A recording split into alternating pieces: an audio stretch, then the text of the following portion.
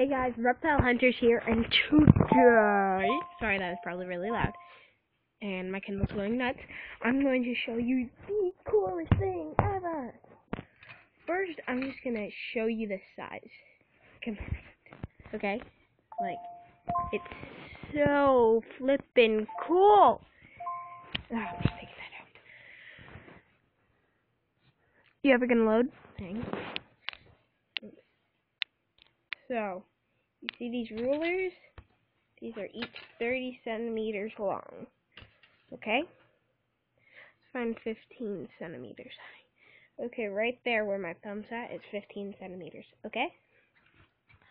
Now, I want to get to 30. Oh, my chickens are going crazy. And it is that long. 35 centimeters long. Like, holy crumples. Okay, now I'll show you what I wanted to show you. So, have that image in your head. Right, right, right, right. Once it's loads, it'll be so easy. Look at these things. They're called ball jointed dragons. Look at them. They're adorable. I want one there, but they're so expensive.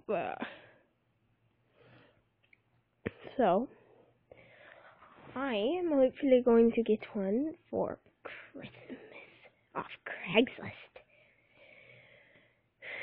So, isn't that just so cool?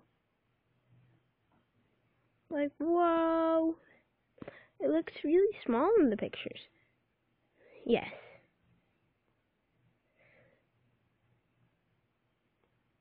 Load. Okay. No! Okay. One sec. But, here, let me just show you what I mean. See, look it. 15 centimeters and 30 high. Oh my god, like what? It's huge, dude. look at how cute it is. Look at it. that one's a really cute one. It's probably really expensive too, though. Oof. Too expensive for me, probably. That skeleton, dragon skeleton sculpture is so cool. But yeah, I just needed to show that to you guys. Like, what? That's so cool. Oh yeah. And I mean, since I'm called, I don't know, Reptile Hunters, I have to show you guys something.